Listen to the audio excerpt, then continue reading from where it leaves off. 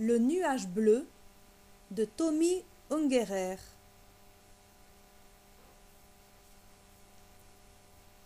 Il était une fois un petit nuage bleu.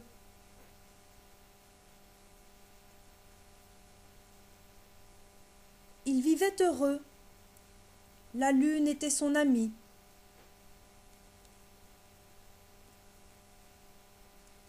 Il ne suivait jamais les troupeaux de nuages. Il allait au gré de ses envies.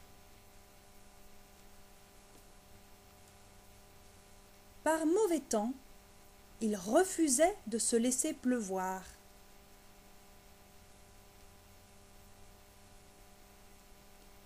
Et pendant les orages, il se moquait des autres nuages qui essayaient de le foudroyer de leurs éclairs.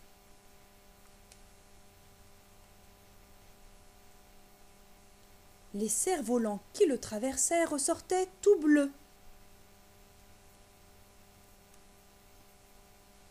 Les oiseaux aussi.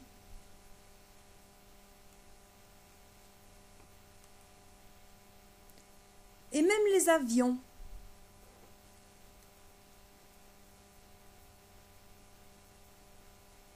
Comme il ne pleuvait pas, le nuage bleu devenait de plus en plus gros. Curieux de voir le monde, il entreprit d'un voyage. bleuissant tout sur son passage. Le sommet des montagnes,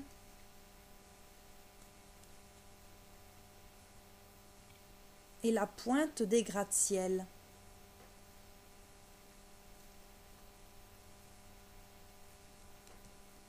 Il devint très célèbre. Son arrivée, son passage étaient annoncés dans les journaux et à la télévision. Il était très à la mode. Certains voyaient en lui un messager de l'inconnu. Il fut bientôt vénéré.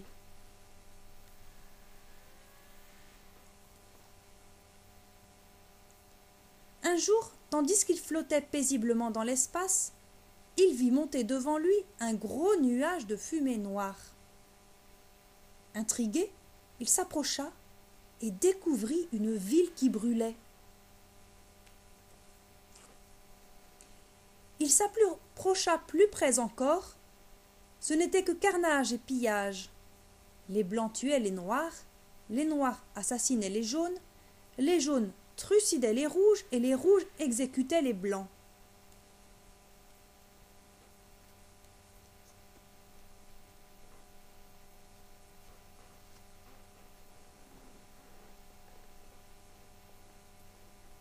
Par tant de violence, le nuage bleu prit une grande décision.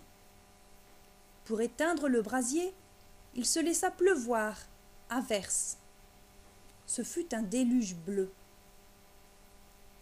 Il se vida jusqu'à la dernière goutte et disparut. L'averse avait éteint le feu et tout coloré en bleu.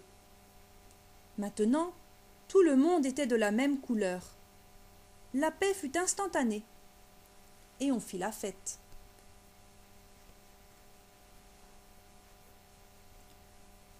Une nouvelle ville émergea des ruines, une ville dont les bâtiments étaient peints en bleu, en souvenir du nuage bleu qui s'était sacrifié.